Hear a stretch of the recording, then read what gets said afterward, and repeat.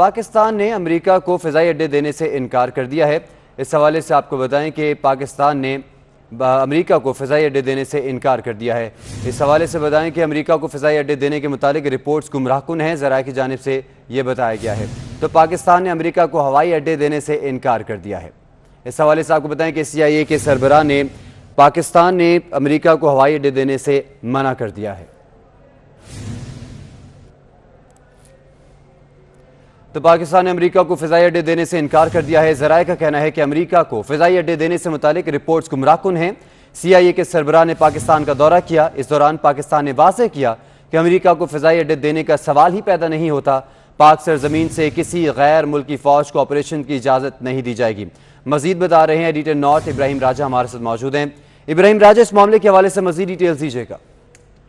जी, हमारे जराये ने हमें बताया है कि अमेरिका को फजाई अड्डे देने के मुतलिक जो मगरबी मीडिया में रिपोर्ट्स आई हैं, इन रिपोर्ट्स को गुमराहकुन करार दिया गया है और ये भी बताया गया है कि सी आई के सरबराह ने पाकिस्तान का दौरा किया, लेकिन पाकिस्तान ने वाजे किया अमरीकी हुकाम पर कि अमरीका को पाकिस्तान के अंदर फजाई अड्डे देने का सवाल ही पैदा नहीं होता और अमरीकी जो ख्वाहिश थी कि उसको पाकिस्तान के अंदर एयर बेसिस फराम किए जाएँ इस ख्वाहिश के मुतलिक प्राइम मिनिस्टर इमरान खान को भी आगाह किया गया और फिर मुशावरत से फैसला किया गया कि पाकिस्तान के अंदर कोई भी एयर बेस अमरीका को नहीं दी जाएगी। हमारे जराये ने हमें यह भी बताया कि इसी मामले पर और अफगान, अफ़गानिस्तान की सूरत हाल पर प्राइम मिनिस्टर को आईएसआई हेडक्वार्टर्स में ब्रीफिंग भी दी गई थी और फिर जो पाकिस्तान की एक पहले से पॉलिसी है कि पाकिस्तान की सरजमीन से किसी गैर मुल्की फौज को ऑपरेशन की इजाज़त नहीं होगी। ये फैसला किया गया कि यही पॉलिसी जारी रखी जाए, रखी जाएगी।